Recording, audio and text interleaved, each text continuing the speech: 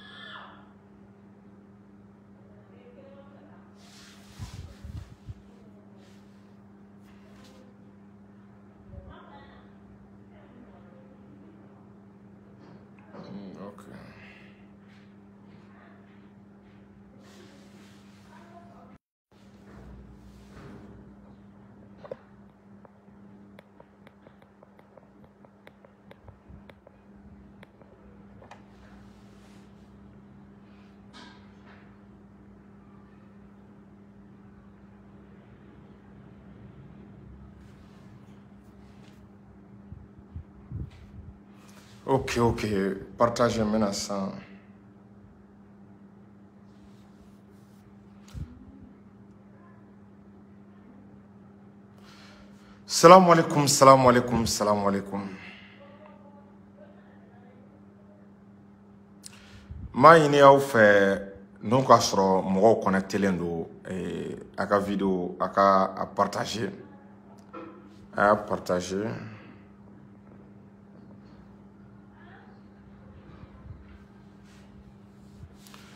ok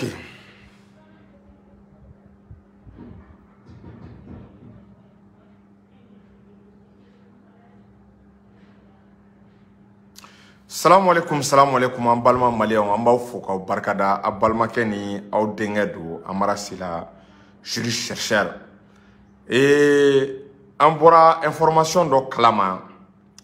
o information ko farasi filɛ k'a ka aide au développement est ce que vous voyez e y'a kɛ to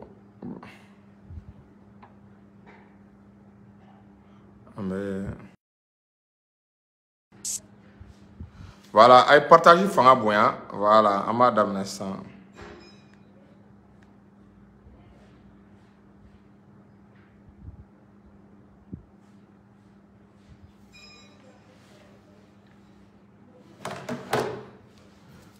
salamu aleykum salamu aleykum an balima maliyɛnw an b'aw fo k'aw barikada a balimakɛ n'aw denkɛ don amara sila jure chercheur k'a ɲini aw fɛ a ka video a ka partage a ka aime a ka a commente voilà ee an bɔra nouvelle dɔ kalama ko faransi filɛ k'i ka dɛmɛ tigɛ mali la o bɛ aide développement min di an ma k'u filɛ k'a tigɛ an na an bɛna a analyser aide au développement in ye fɛn jumɛn ye est ce que réellement faransi bɛ ka mali dɛmɛ wa est ce que nin ye dɛmɛ ye wa aide au développement in yɛrɛ a bɛ taa wari joli la an bɛna ka na an da don o la ko ka sababu kɛ ko barika ni a ka minɛn cɛ c'est à dire ko caman bɛ nin ko in kɔrɔ quoi an bɛna da aw tulo kan est ce que i y'a faamu ani mali fɛnɛ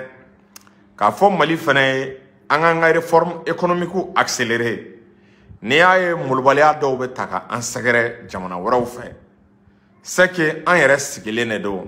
baara bɛ baara la sira bɛ sira la an tɛ ka o sira ninnu ta n'o ka sɔrɔ an tun bɛ ka o sira ninnu ta an tɛ se nin ma jamana k'a fɔ esike y'a faamu k'ale y'a ka dɛmɛ aide au développement k'a ye o tigɛ donc ka partage ɲini aw fɛ yanni n ka don émission in kɔnɔna la puisque u bɛ ka page u bɛ ka signaler ni partage tɛmɛlen kɔ k'an ka serifukɛ fo sɛk tiyami ayidara kabako fura tigi ala ye serifukɛ sɔrɔ kabako fura la fura minnu n'a ka ɲi bana baden ma tansiyɔn jabɛti furudimi rɛndimi kɔdimi eh, a ka nimoro ye 78 78 03 03 o tɛmɛlen kɔ k'an ka belebele fo an ka kutubu an ka waliw n'o ye sɛku lasana kanɛ belebele a bɛ segu lasana kanɛ baara min kɛ mali ko la a ma dogo mɔgɔw la lasana kanɛ a ye mɔgɔ diya a ma mɔgɔ diya anw ka foli bɛ se a ma parce que a y'an bɔ dingɛ dɔ de kɔnɔna la anw bɛ a dingɛ don a ye maliyɛn bɛɛ bɔ o dingɛ in kɔnɔna la n'an y'a fo an b'a ka e, e, mugadamu fo n'o ye abubakar kamara abubakar kamara n'ale bɛ kati katikaw yɛrɛ ka mawuludu belebeleba bɛ yen le 2 décembre ni e, u kɛlen don k'a kɛnɛ sigini a kɛnɛ yɛrɛ ka ni lasana kanɛ denkɛ n'o o bɛ ye kɛnɛ in kan n'o ye sɛku fitini an ka foli belebeleba ye o tɛmɛlen kɔ le 10 décembre sɛku lagare n'o ye lasanakane den ye i b'a ye k'a fɔ segu lagari fana kɛlen bɛ ka kɛnɛ belebeleba sigi lasana kanɛ tɔgɔ la a kanu na le 10 décembre a bɛ kɛ palais de la culture la ka wele bila sigiridala ŋanaw ma ka wele bila n'i y'a ta k'a lajɛ eh, an ka artisi n'an ka seko n'an ka dɔnko tigilamɔgɔ caman ma ka sɛkisa la fo kanijalo sɛkisa la fo yan fo tuba kura a ka foli bɛ yan dankɔrɔba actuellement a bɛ déplacement na morikɛ tɛ se ka une semaine kɛ mali kɔnɔna la n'an ye chèque sala fɔ an b'a fɔ a n'o ye segu dawuda kan jalo a ka foli belebele bɛ yan ni famille kan jalolakaw fɔra olu tɛ mɔgɔ dogolenw ye o k'a daminɛ mamadu abudulayi sadu ka se dili umu ninnu ma ka na se siri moribo kan ninnu ma ka na minɛ chèque sala kan jalo a ka foli belebele bɛ yan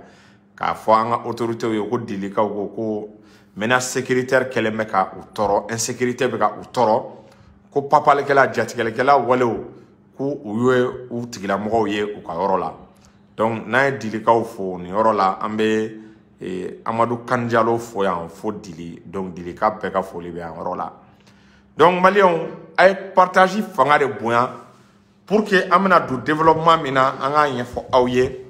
an tun bɛ dingɛ jugu min kɔnɔ an tun bɛ kɔlɔn jugu min kɔnɔ an tun bɛ janfa min kɔnɔ k'o janfa ko a banna donc a ye partage a y'a fanga bonya n bɛna don sujet kɔnɔna la parce que kɛlen don ka video in a bɛ ka signaler quoi mais c'est pas grave page minnu fana b'an ka video bila n'u b'a tigɛ an bɛ a pasi kelen kelen bɛɛ fo i b'a ye k'a fɔ an tɛ se ka bɛɛ ta a tɔgɔ ma mɛ pasi fɛn fɛn b'an ka videow bila a pasi kelen kelen bɛɛ folen don donc malidenw an bɛ don an ka sujet kɔnɔ malidenw ko colonisation ko a banna ee an tun bɛ jɔnya juru min na n'o ye faransi ka jɔnya juru ye ko jɔnya juru in banna faransi ye mali cili min kɛ kabiri independance ka n'a bila bi la a travers l'aide au développement k'a bɛ juru jugu k'a ta k'a kara na k'a bɛ an dɛmɛ mais en réalité a bɛ k'an ka jamana ci n balimaw ko faransi y'o dɛmɛ tigɛ a b'a dɔn ko aide au développement ko faransi ye o tigɛ mali la ko ka sababu kɛ k'an ye barikani wulukolo gɛn k'an ye barikani gɛn ko ka bugurinjɛ kɛ u nɔ la anw kɛra sababu ye ka barikani gɛn barikani ma sigiyɔrɔ sɔrɔ u taara nizɛr nizɛr population fana bɛ ka wuli ko k'u ka minɛn cɛ u taara burukina burukinabew fana b'a la ko k'u ka minɛn cɛ ɔ faransi diminko jugu o de la ko olu y'u ka dɛmɛ tigɛ anw na mɛ ne bɛ aw ɲininka o ɛseke faransi tile kelen de la ka mali dɛmɛ a b'a dɔn ɛdo development o b'a di secteur jumɛn ni jumɛn na faransi ka ɛdo development i b'a dɔn k'a fɔ ko namara ni janfa don maliyɛnw a ye nin lamɛn ka yan dɛ a k'a partage ɛdo development ni faransi y'a d'i ma n balimaw a wari a tɛ sɔn k'i ka minɛn sa la non i ka kɛlɛkɛ minɛn san ni faransi ka edo développement ye i t'o y'i ɲɛ la faransi ka jamana tɛ yen k'u ka edo développement ko n'u y'a d'i ma k'i yɛrɛ dɛmɛ ko développement kɛra i ka jamana kɔnɔ k'e ka taa o don armement na k'e ka taa o don kɛlɛkɛ minɛn na i b'a ye k'a fɔ ko jamana tɛ yen est ce que i y'a faamu aide au développement u b'a di kun jumɛn na u t'a di jamais faransi tɛ aide au développement di k'a ye usine créer a ye nin lamɛn ka ɲa dɛ a ye dugu jukɔrɔ nafolo min bɛ aw fɛ yen a ye matériel ɲini a ka taa dugu jukɔrɔ nafolo bɔ faransi ka aide au développement tɛ taa o sira la dɛ faransi tɛ aide au développement di k'a ye sɛnɛ ta ba la k'a ye agriculture k'a y'a ta ba la faransi ka aide au développement tɛ taa nin sira kan dɛ faransi ka aide au développement tɛ taa k'a ka denmisɛnninw a ye u forme ka ɲa a ye burusu d'u ma u ka taa siyansi kalan u ka taa tɛkinolozi kalan faransi ka dɛmɛ edo development a tɛ di o sira kan dɛ faransi ka edo development u t'a d'an ma k'an ka kɛnɛya an k'a layɛ ka eh, eh, kɛnɛyasow dilan ka dɔgɔtɔrɔsow dilan ka fura dilanyɔrɔw dilan esike y'a faamu fura bɛ se ka sɔrɔ kɛnɛya bɛ se ka sabati faransa faransi ka edo development a tɛ di aw ma k'a ka a don olu da fɛ dɛ faransi ka aide développement tellement que i b'a dɔn ko janfa b'a kɔnɔ i b'a dɔn a bɛ di secteur ni secteur min na a y'a jateminɛ dɛ n bɛna n bɛna secteurw fɔ ye faransi bɛ aide développement di d'abord yɔrɔ jumɛn na secteur jumɛn na i bɛ taa sɔrɔ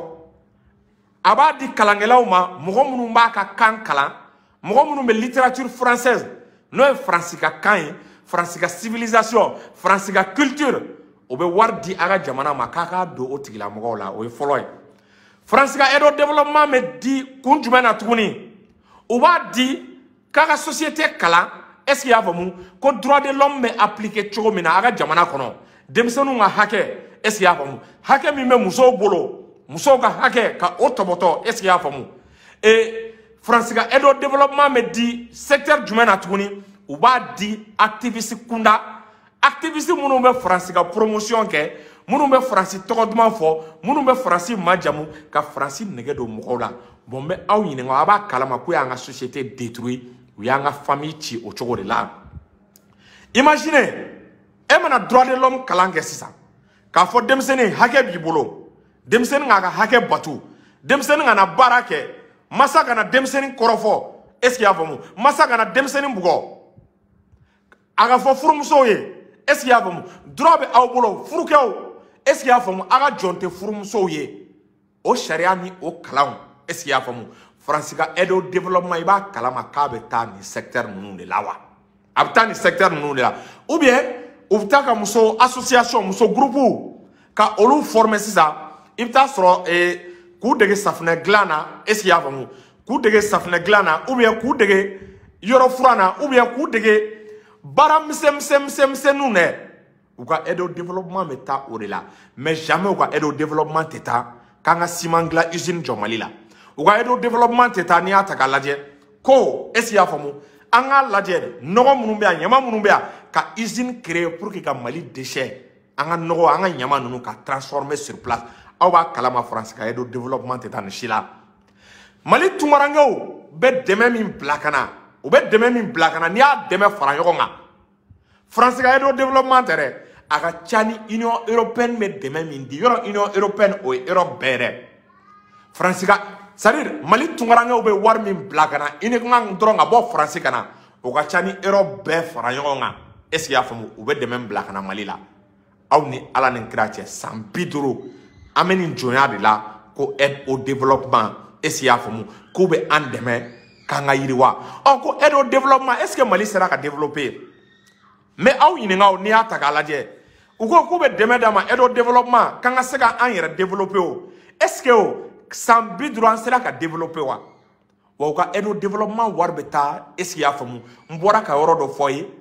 u ka littérature k'u ka kan kalan ka s'u ka poème na est-ce qu'il y'a faamu ka su ka romanw sɛbɛnni na ka faransi culture ka o don an hakili kɔnɔ n'o donna an hakili kɔnɔ anw fana bɛ ban ka kɔrɔlen na anw bɛ ban ka tabiya la anw bɛ ban ka coutume na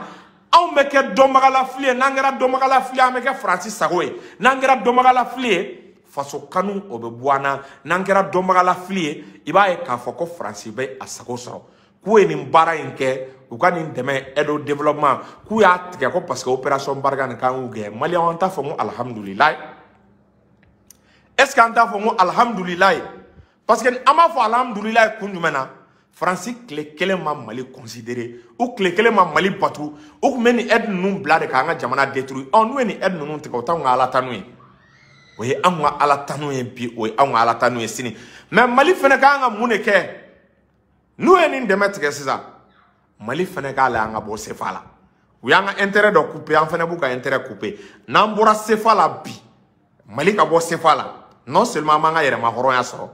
wa an bɛ kɛ sababu ye faransi économie tɔ bɛ bin parce que anw ka sefa o de bɛ ka kɛ sababu ye ka faransi économie k'a garanti o de bɛ ka kɛ sababu ye faransi chômage mɔgɔ o mɔgɔ n'u tɛ baara kɛ k'u sara an'u ka sécurité sociale ka mɔgɔw furakɛ fu la n'i y'a ta k'a lajɛ anw ka sefa wari garanti o de bɛ ka kɛ sababu ye faransi bɛ k'i maintenir puissance ya la ɔ n'u ye nin kɛ mali fɛnɛ k'a layɛ le lendemain n'o ye sini ye an ka fɛɛrɛ kɛ an ka bɔ sefa la an k'an ka mɔnɛ créer an fɛnɛ ka mɔn an ka dimi de sɔri faransi la an bɛ wagati min kɔnɔna la mais ni an m'o kɛ an k'an sigi don o don faransi de bɛ ka mɔnɛ don anw na o b'u ka dɛmɛw tigɛ yan o bɛ k'an ni aliyew bila ɲɔgɔn na mɛ anw sigilen bɛ anw tɛ ka fɛn kɛ faransi ka ekonomi na mali bɛ ka faransi kɛlɛ mɛ an tɛ k'u kɛlɛ sur le plan économique alors que kɛlɛ in dun bɛɛ bɛ laban économie de la n'an kɛlɛ cogo o cogo n'an m'u kɛlɛ sur le plan économique an bɛ furu de la sur le plan économique faransi ka wari min bɛ an fɛ yan n'o ye sefa ye n'an bɛ k'a dun n'o de bɛ ka kɛ sababu ye ee esi y'a faamu an ka sanu fɛn fɛn bɛ bɔ a bɛ taa déposer faransi trésor la ko faransi b'anw ka wari garanti an ka fɛɛrɛ kɛ an k'o système in tigɛ an ka bɔ sefa la n'anw bɔra sefa la sisan ni mali bɛna sanni fɛn fɛn kɛ kɔ kan wari min tɔnɔ min kun bɛ taa faransi kun o wari n'o tɔnɔ a b'a kalama o bɛna eta maliyɛn de kun o bɛ kɛ eta maliyɛn de ka wari ye eta maliyɛn de sago bɛ o la parce que anw ni faransi bɛ kɛlɛ min na k'olu ka tila k'anw ka mɔnɛ imprimer i b'a ye a bɛ mɔgɔ ɲugun kɛlɛ in na i b'a ye k'a fɔ k'a kɛlɛ tɛ taa yɔrɔ jan an tɛ se k'a fɔ k'an b'an bolo bɔ faransi bolo an ka continuer ka sefa dun n'an tora ka continuer ka sefa dun ni faransi taara walayi u bɛ tila ka segin ka na n bɛ ka nin kuma in fɔ n jamabagataw tɛ k'a fɔ dɛ n bɛ ka nin kuma in fɔ a kuma man di ye mɛ an ka transition bɛ ka suma sefa baara ko la a sera yɔrɔ dɔ ma an bɛ transition dɛmɛ mɛ an bɛ tiɲɛ f'u ye est ce que y'a faamu c'est à dire i tɛ se ka faransi kɛlɛ ka barikani kɛ ka tila ka continuer bɛ ka sefa d'u ma c'est comme i bɛ ka c'est comme an yɛrɛ ye kuma min fɔ dɛ ko c'est l'art de dribbler soi-même tout en gardant le ballon c'est comme an bɛ ka faransi taga an bɛ ka faransi gɛn an bɛ k'a kɛ ni bulɔku de ye quoi anw bɛ k'u gɛn il contrôle notre économie à travers le franc CFA anw bɛ sanu mugu de ta i n'a fɔ anw ye jɔn de ye san o san ka taa sanu mugu bila faransi ka trésor la k'a k'an ka wari garanti k'a k'an ka économie garanti ko ni gɛlɛya ni crise nana an kan ko faransi ka dɛmɛ bila ka na ko faransi ka dɛmɛ bila ka na an dɛmɛ ɔ gɛlɛya ni crise kun bɔra degun bɛ an kan la vie est chère faransi bɛ ka mun kɛ faransi b'a la ko diɲɛ mɔgɔ k'i ka dɛmɛ tigɛ an na a yɛrɛ bɛ k'i ka dɛmɛ tigɛ an na a bɛ wari fɛn fɛn di a bɛ k'o tigɛ an na est ce que an k'an ka sigi ka faransi lajɛ est ce que an k'an ka sigi ka faransi lajɛ est ce que y'a faamu est ce que bɔ ye an k'an ka sigi ka faransi la yan donc o de la ee n bɛ min fɔ a ye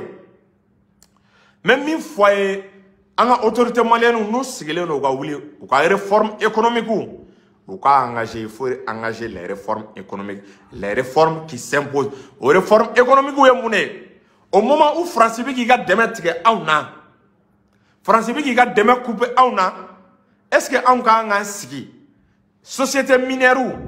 mali kɔnɔ société minɛri minnu bɛ yen dugu jukɔrɔ nafolo bɔ la sanu b'o la uranium b'o la lithium b'o la olu k'anw ka dugu jukɔrɔ nafolo bɔ ka taa n'a ye kɔ kan ka taa o yɛlɛma ka tila ka na o feere an ma dix fois plus cher ala kama an k'a lajɛ n'an ko ko reforme n'an ko ko refondation ko yɛlɛma anw bannen bɛ ka nin kɛ an bɛ k'an yɛrɛ bulɔku de an tɛ ka yɛlɛma kɛ bilahi an b'an yɛrɛ bulɔku la de yɛlɛma tɛ yɛlɛma tɛ dɛ an bɛ tiɲɛ de fɔ est-ce que y'a faamu bilahi an cɛ an tɛ cɛ si dɛmɛ nkalon kan c'est à dire mun y'anw da transition na k'an sɔrɔ transition ye an y'a ye u ye min kɛ u ye min kɛ faransi la sur le plan militaire an jigi b'a kan u k'o de kɛ sur le plan économique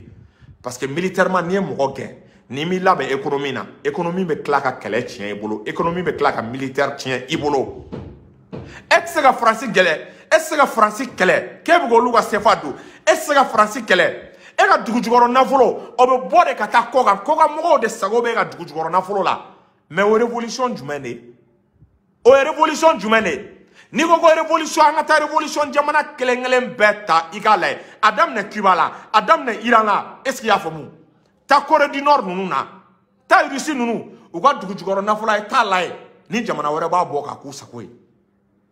u ka dugu jukɔrɔ nafolo u yɛrɛ de b'a bɔ a bɛ transformer u yɛrɛ fɛ yen o bɛ sɔrɔ ka bɔ n'a ye ka feere a transformelen o la o y'a sɔrɔ a valeur a nafa o sera an ka jamana ma mais mali talen bɛ bi en otage par les multinationales multinationales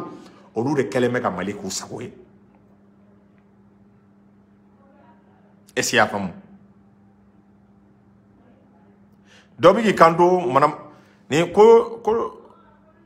ko edo development ko nafa ka bon jamana kɔnɔ mana mana nafa foyi tɛ edo development in na o bɛ dɛmɛ min kɛ n bɔra ka secteur fɔ a ye o b'a dɔn ko muso denmisɛnnin est ce que y'a faamu u tɛ edo development u t'a kɛ ka usine jɔ u t'a kɛ ka entreprise jɔ u t'a kɛ ka an dɛmɛ an ka pétrole ɲini u t'a sɔn edo development an ka armement san n'a ye o ye dɛmɛ jumɛn ye ni mɔgɔ o mɔgɔ ko ko edo développement bɛ jamana jɔ a tigi bɛ faransi jɔn de don wa a tigi n'i y'a ta k'a lajɛ a bɛ faransi ka baara de la donc ne bɔra ka yɔrɔ min fɔ n k'an ka transition k'an ka réforme économique k'a accélérer n bɔra k'a fɔ ni ni ninnu bɛ ɲɔgɔn na dugujukɔrɔ nafolo fɛɛrɛ kɛ i k'a k'i ta ye société ba fɛn fɛn bɛ kɔ kan an ka n'u bɛ kɔ kan n'u bɛ ka mali dugujɔyɔrɔ nafolo labɔ a société société ninnu bɛɛ nationaliser n'i y'a bɛɛ nationaliser sisan e b'i ka économie contrôler de o mais aw ni ala ni kira cɛ maloya yɛrɛ tɛ ko faransi bɛ juru don mali la pétrole tɛ faransi ko faransi bɛ aide au développement kan ye pétrole tɛ yen uranium tɛ yen jama tɛ yen gazi tɛ yen nin bɛɛ bɛ mali kɔnɔ est ce que ninnu ka kan ka dɛmɛ don anw ma est ce que maloya tɛ anw bɛ ka sigi k'u layɛ olu bɛna fɔ k'u y'u ka aide tigɛ u y'u ka aide tigɛ multinational minnu olu de ta don olu européens de ta don est ce que y'a faamu ɔ multinational ninnu bɛ société minnu kunna mun na an t'a nationaliser a ye taa cuba u ye société nationaliser cuba société nationale de ka ca moribo keyita ka taa na société nationale de ka taa e t'a ka société a ye taa tuguni a ye taa chine société nationale société d'état olu de ka ca a ye taa sini a y'a layɛ a ye taa tuguni kore di nord a bɛ tɛ ala kama a ye taa rusi sa o tuma an bɛ fɛ ka révolution jumɛn de kɛ o tuma révolution kɔrɔ ye dɔrɔn an ka faransi lata o bɛ an ka minɛn dɔrɔn ɲini o de ye révolution ya il est temps an sera yɔrɔ dɔ ma an ka tiɲɛ fɔ ɲɔgɔn ye est ce que vous voyez agriculture domaine filɛ nin ye Ça, c'est un domaine très prometteur, l'agriculture. Ni agriculture ta k'a lajɛ office du Niger bɛ se ka Mali kɛ fɛn bɛɛ ye mais n'i y'a mɛn office du Niger bɛ Mali kɛ fɛn bɛɛ ye o la fo État de k'a ta mɛ État k'a exploiteli daminɛ an ka Chinois wele technique agricole outils sɛnɛkɛ mansinw ani sɛnɛ bɛ kɛ ni technique ni fɛɛrɛ minnu ye u kana an dɛmɛ office du niger an ka exploite aw b'a kalama 1960 wagati indépendance wagati n chinois de nana ka na mali dɛmɛ office du niger exploiteli la y'avait les coopérants chinois a bɛ fɔ ko moribo ka usine fɛn fɛn kun ka ɲi a usine ninnu bɛɛ la y'avait des chinois u bɛ ka maliyɛnw dɛmɛ ka usine ninnu la fonctionner aw m'a ye on était sur la voie de l'industrialisation mais a ye transition in layɛ an b'a fɔ n k'u ka a kɛ dɛ mais est ce que u b'a sira kan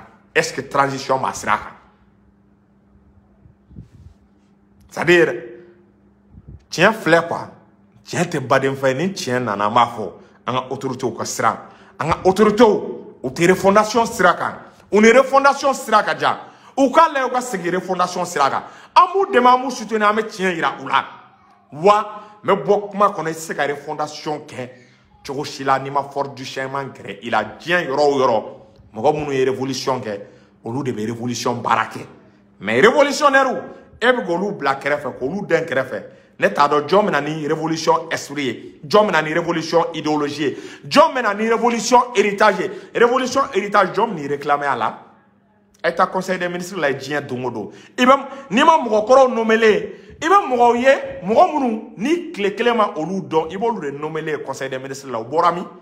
révolution kɛ wagati u tun bɛ min révolution kɛ il est encore temps a ye réforme sira ta an force du changement ka baara kɛ ne bɔra kuma la